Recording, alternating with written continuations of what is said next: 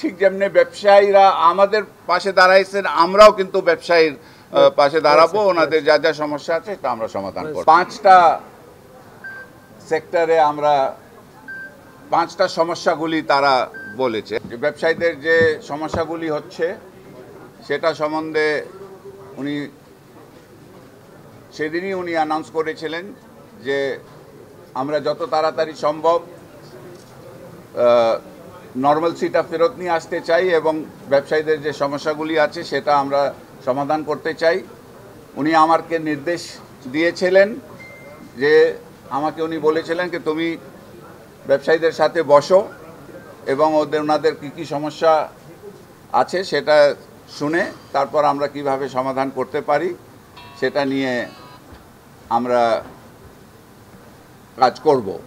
তো আজকে সেটাই আমি সব ব্যবসায়ীদেরকে আমরা আজকে দাওয়াত দিয়েছিলাম। প্রত্যেকটা সেক্টর থেকে এসছেন। আমাদের খুবই ভালোভাবে খোলামেলা আমরা আলাপ করেছি।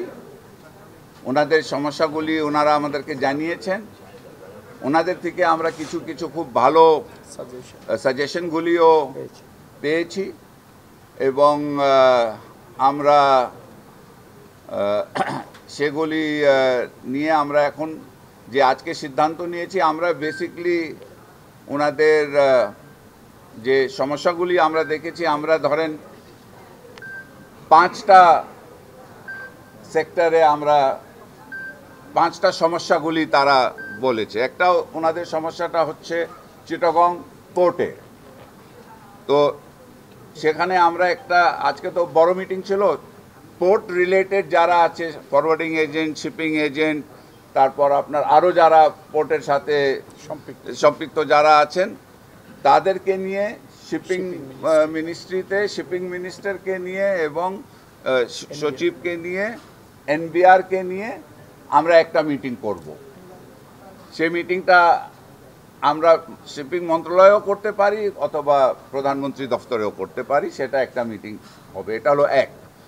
দ্বিতীয়টা হলো ওনাদের সমস্যাটা আছে আপনার এনবিআর এর সাথে। এনবিআর এর সাথে তাদের অনেকগুলি প্রবলেম আছে যেটা তারা আমাদেরকে জানিয়েছে। আমরা এনবিআর কে নিয়েও আমরা কিন্তু একটা মিটিং করব। এটাও আপনারা জানেন, মাননীয় প্রধানমন্ত্রী নিজেই বলেছিলেন বাজেটের পরে, যখন অনেক সময় বাজেটে অনেক কিছু এসছে যেটা ব্যবসায়ীরা রেস করেছিলেন। মাননীয় প্রধানমন্ত্রী বলেছেন বাজেটের পরেও এটা এসআরও দিয়ে এটা সমস্যাগুলি সমাধান করা যায়। আমরা পরীক্ষা নিরীক্ষা করে যদি দেখি কে হ্যাঁ এই সমস্যাটা সমাধান করা প্রয়োজন, তাহলে আমরা সেটাও একটা সেকেন্ড একটা মিটিং আমরা করতে চাই। তৃতীয় আমরা একটা মিটিং করতে চাই বাংলাদেশ ব্যাংকের সাথে। ওনাদের ব্যাংকের আর অর্থ মন্ত্রণালয়। ব্যাংকিংয়ের অনেক সমস্যা সম্বন্ধে তারা আমাদেরকে বলেছেন। তো সেটাও আমরা একটা সেপারেট একটা মিটিং বাংলাদেশ ব্যাংক অর্থ মন্ত্রণালয়ের সাথে আমরা করব। পোর্টে পোর্টে তাদের যেটা মেন সমস্যাটা হচ্ছে যে তাদের কনজেশনের একটা কথা বলেছেন। কন্টেনার জোটের কথা বলেছেন। তারপর আপনার ড্যামারেজের কথা বলেছেন। যে কস্টগুলি তাদের যে চার পাঁচ পাঁচ ছয় দিন তারা কন্টেনার ক্লিয়ার করতে পারেন নাই। ওটার জন্য ওদেরকে ড্যামারেজ পোর্ট ড্যামারেজ দিতে হচ্ছে।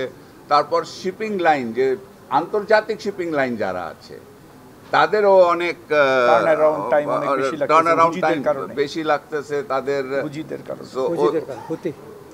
হ্যাঁ। ওইগুলির জন্য ওই ধরনের পোর্টের সমস্যাগুলি ওনারা বলেছেন। স্টাডি করার পরে তো আমরা ওনাদেরকে বলেছি ওনারা আজকে আমাদেরকে। লিখিতভাবে দিবেন আমরা এটা পরীক্ষা নিরীক্ষা করব তারপর আমাদের যেটা ভালো হবে সেটা আমরা ব্যবসায়ীদের জন্য। যেটা মাননীয় প্রধানমন্ত্রী বলে দিয়েছেন আমাকে নির্দেশ দিয়েছেন। উনি বলেছেন যে আপনি সব ব্যবসায়ীদের সাথে বসে ওনাদের সমস্যা সম্বন্ধে জেনে আমরা কিন্তু সরকার তরফ থেকে আমরা ডেফিনেটলি ব্যবসায়ী, যে ঠিক যেমনি ব্যবসায়ীরা আমাদের পাশে দাঁড়াই